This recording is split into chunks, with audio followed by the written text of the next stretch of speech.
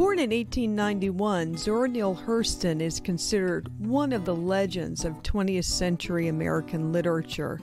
A literary star of the Harlem Renaissance, Hurston has influenced such writers as Ralph Ellison, Toni Morrison, and Alice Walker, among others.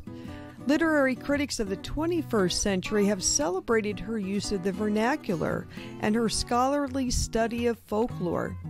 A contemporary of Hurston's, Robert Hemenway, remembered that she, quote, helped to remind the Renaissance, especially its more bourgeoisie members, of the richness of our racial heritage. Hurston was raised in Eatonville, Florida, the first incorporated all black town in America, and was advised by her mother to ambitiously jump at the sun. This video excerpt explains the importance of Eatonville in Hurston's life. I do not belong to the sovereign school of Negrohood who hold that nature somehow has given them a low down dirty deal and whose feelings are all hurt about it. No, I do not weep at the world. I am too busy sharpening my oyster knife.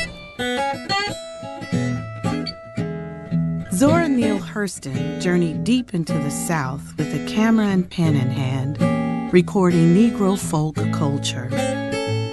She wrote countless books, plays, and articles infused with the rhythm of her people. Zora's fame would come from one book, Their Eyes Were Watching God. But throughout her life, she was legendary for her spunk. She was bodacious. She was outrageous. She enjoyed shaking things up. She's a southern black woman who wants to be a scholar and a writer, living in a white world of letters. And that was one thing I liked about her her independence. She didn't care about you and what you thought. Zora could go from dialect to the most beautiful English that you could possibly imagine. It was like music when she spoke.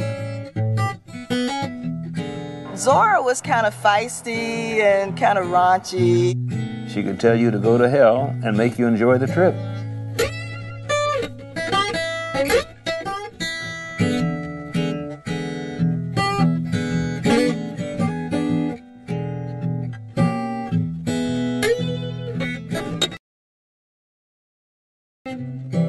Florida village where Zora grew up was a special place that had been created by and for black people in 1887. Eatonville, the first incorporated Negro town in America. A Negro town? You mean the whole town without the white folks? Nothing but colored folks? Who bosses it then? They bosses it themselves. Hurston makes a great deal out of growing up in an all black town, a space where she could have her uh, uh, creativity blossom, have free reign with her imagination. Eatonville was sort of the touchstone that she came back to all the time. And she always came back to Eatonville in terms of writing. Eatonville, the city of five lakes, three croquet courts, 300 brown skins, 300 good swimmers, two schools, and no jailhouse.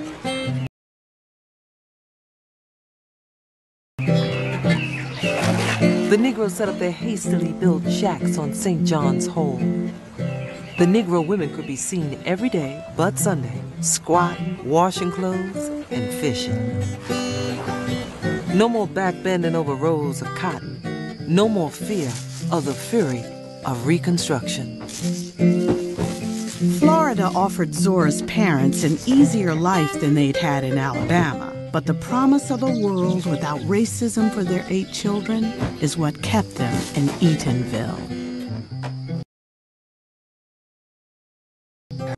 Her father was three times elected mayor of the town, so even in the 1890s, she has this anomalous experience of being able to go around and say, I'm the mayor's daughter.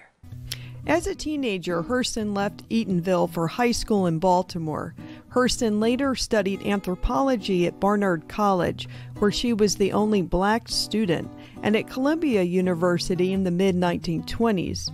After graduation, she returned to her hometown to conduct anthropological studies.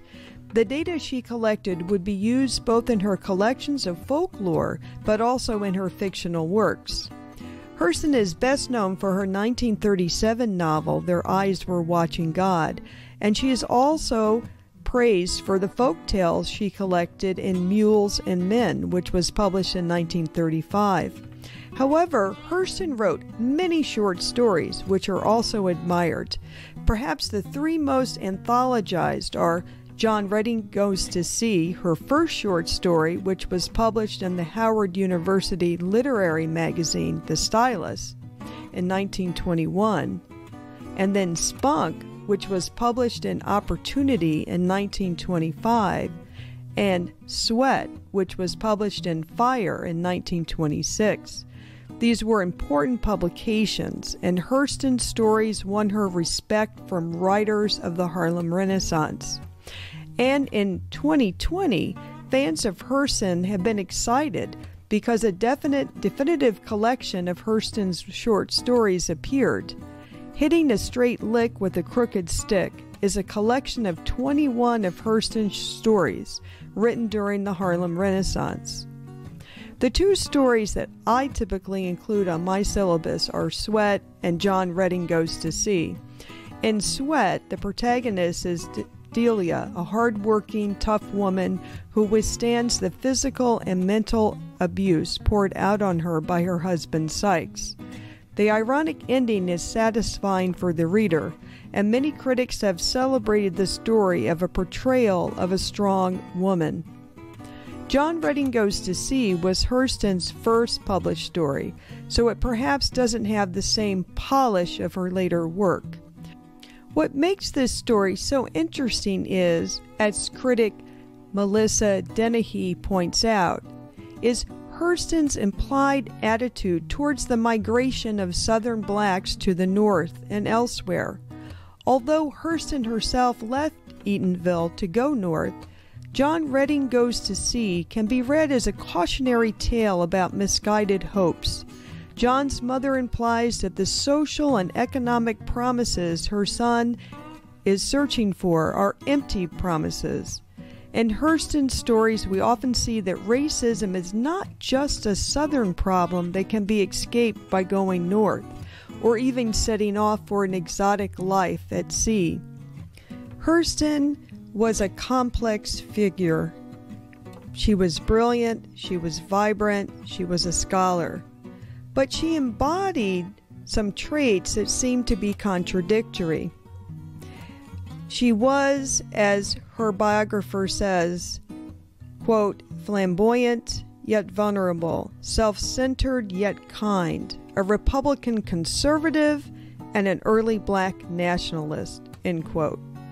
Hurston fell out of favor in the 1940s and 50s, and many credit Alice Walker for reintroducing the reading public to Hurston in the 1980s.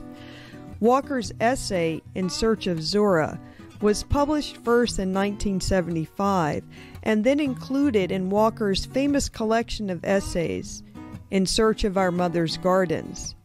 She set off the Hurston revival. Moved by the fact that Hurston had died in poverty without even a grave marker, Walker erected a tombstone on which he had inscribed, quote, Zora Neale Hurston, a genius of the South, novelist, folklorist, anthropologist, 1901 to 1960.